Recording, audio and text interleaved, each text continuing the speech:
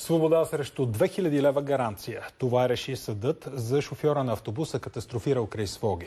Магистратите отмениха домашния арест на Григор Григоров с мотива, че той няма да се укрие или да извърши друго престъпление.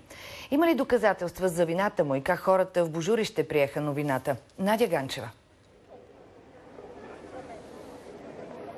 Добър вечер. Доказателства за вината на Григор Григоров има, казаха и апелативните съдии. Най-малкото, защото той е навлязал в насрещното платно. Уточниха обаче магистратите, че трябва да бъде изяснено дали той е карал с превишена или несъобразена скорост, защото двете неща са наистина различни. Все още се очаква и експертизата за това дали единствено той е виновен за инцидента край Своге. А хората в Божурище и Своге приеха новината за паричната гаранция изключително добре, защото част от мотивите за тази тази мярка за неотклонение е всъщност тяхното мнение. Ето какво ни разказаха. Апелативният съд реши, няма никаква причина Григор Григоров да остава под домашен арест и за това го пусна на свобода срещу 2000 лева гаранция. Свободата си е свобода.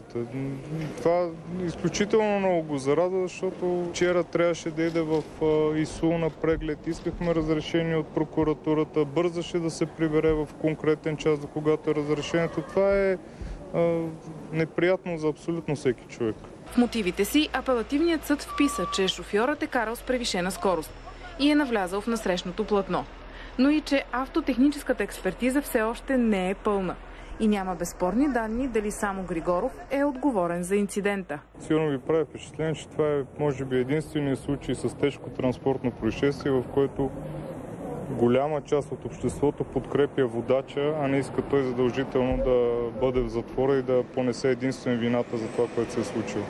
Подписката, която хората в Божурище направиха, оказа се има значение и то не е малко.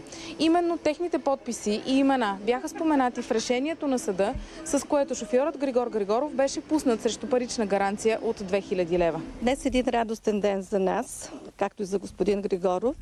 Искам да благодаря на всички хора, които участваха и на всички тези, които не успяха да се подпишат, но морално го подкрепят.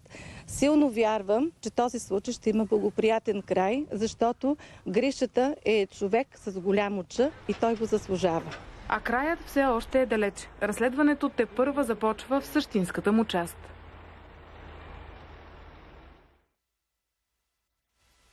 Стои са трите най-важни експертизи. Комплексната, която трябва да покаже кой е истинският виновник за инцидента. Дали е само шофьорът Григор Григоров или някакво участие в вината за предизвикания пътен инцидент има и пътя.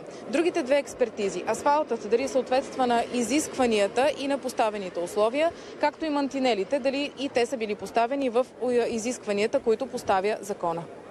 Информация на Надя Ганчева. Благодарим.